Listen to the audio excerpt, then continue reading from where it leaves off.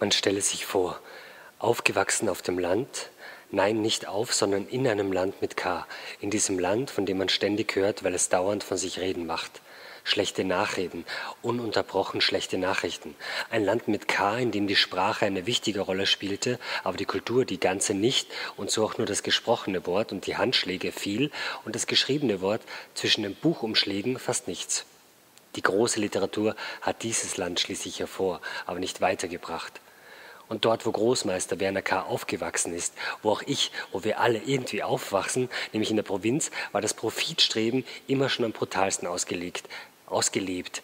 Nicht wie man meinen könnte in den Großstädten, nein, denn dort sind nur die Kampfzonen des Kapitals. Menschenverachtende Ideologien wie diese sind immer schon von der Provinz gekommen und von dort exportiert worden.